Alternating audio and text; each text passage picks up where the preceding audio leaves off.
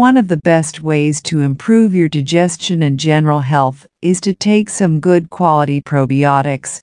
But how can you be sure that those little pills you take, each containing billions of good bacteria, actually make it through to your intestines? After all, they have to get through the acidic environment in your stomach first, right? Luckily, there's no reason to be concerned. Probiotic bacteria, whether in a commercial form or in probiotic yogurt, are perfectly capable of making it all the way through your digestive system.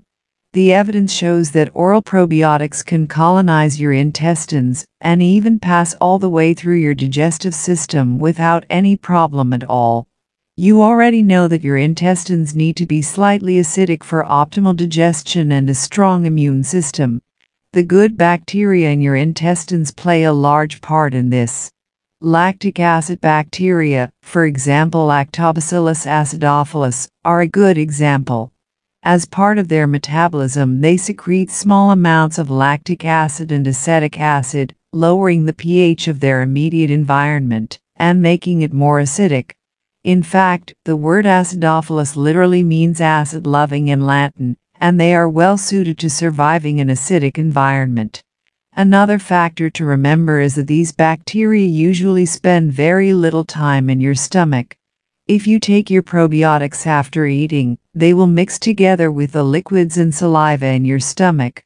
And around 50% of this liquid will pass through to your intestines within 30 minutes of your meal, taking many of the probiotics with it.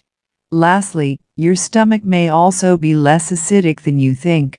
For example, immediately after eating your stomach pH typically rises to a level of around 6.0. This is only mildly acidic and should be reasonably easy to survive for most of the bacteria in your capsule. In fact, something like 75% of probiotic bacteria will survive a short exposure to this kind of mild acidity. Commercial probiotics can be expensive supplements, so you should make sure that you absolutely get the most value from them that you can. There are two simple tips that you should follow to achieve this. First, take your probiotics immediately before or during your meal. Eating a meal temporarily reduces the acidity of your stomach and makes it easier for the probiotics to pass through. This means that more will survive the journey through to your intestines. Second, take a brand of probiotics that contains lots and lots of bacteria. You should be aiming for at least 10 million CFUs per capsule to start with, and then increase your dose even further when you feel ready.